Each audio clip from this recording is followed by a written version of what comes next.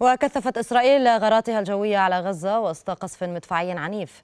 وذكرت وكالة الأنباء الفلسطينية أن 400 شخص معظمهم أطفال ونساء قتلوا في القطاع خلال الساعات الأربع والعشرين الماضية بالإضافة إلى 1500 جريح.